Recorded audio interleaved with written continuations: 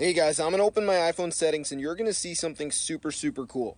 So let me just go ahead and open it up right here and show you guys what I'm talking about. So I'm just going to go over the software update and you guys are going to see the truth and the power that I'll show you guys how to get. So as you can see, I'm currently updated to the newest version of iOS 15.6.1 and in this video, I'm going to be showing you guys how to jailbreak on this new version of iOS without a computer. So no wires, nothing weird like that. I'm going to show you guys how to do it. So what you want to do is go to this website, iosjailbreak.pro.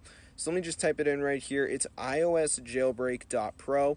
So yeah, this is the only working website, guys, where you can actually jailbreak on the newest version of iOS. So once you're here, you're going to be asked to select what iPhone you're using and what version of iOS you're on.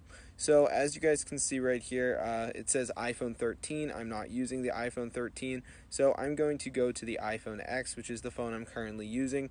And then for the version, I am updated to the newest version of iOS, guys. So uh, as you can see, there are other versions. So once you're done, guys, just press the button that says Start Jailbreak. And if you want to turn on a backup, you can turn that on.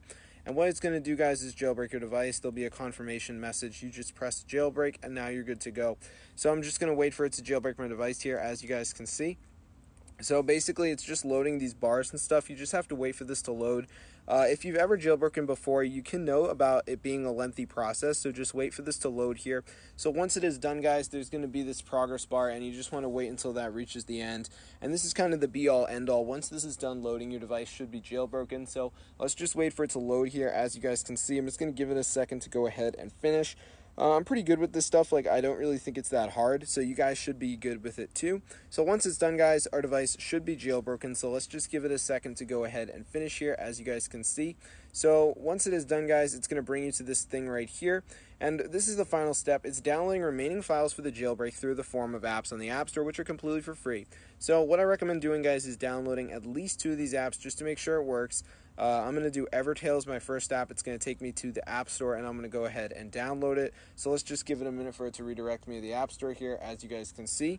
So I'm just going to wait, and while this is on the App Store, I'm going to go back to the list of apps and download a second app. So you want to make sure you download at least two of the apps just to make sure that this works. So now I'm going to go back onto the list and download the second app. So the Evertale has started to download here, as you guys can see. And you know what? I'm feeling brave. I'm just going to run Evertale, guys. So if you want, you can download two apps, but you can also try with one.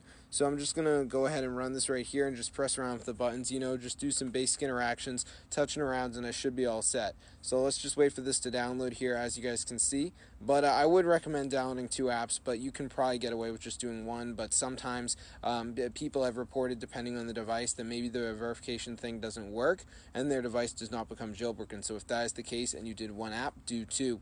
But I'm just going to finish up with this uh, Evertale right here. As you can see, I've never played this before. I'm just running it and doing the interactions. I don't have to be a pro at it. So honestly, guys, I think we're pretty much all good to go. So let's go to our home screen and see if our device has become jailbroken and Cydia is available for us to use and we can install favorite jailbreak tweaks. So let's check the home screen and bang, bang, bang, there's Cydia. So I hope you guys enjoyed the video. Definitely go ahead and try it out for yourself. Get the word out about this method. I'm blown away it actually works, guys, but it does. Super, super cool. This is awesome. And as someone that doesn't support jailbreaking wires and computers, like I understand some of you guys don't have that stuff, well, this is the best jailbreak. So try it out, guys. Get the word out. This is super awesome. And uh, I'm pretty happy with it because I can actually do it on the go now and it doesn't get removed from my device or anything. So I'll see you guys later and peace out.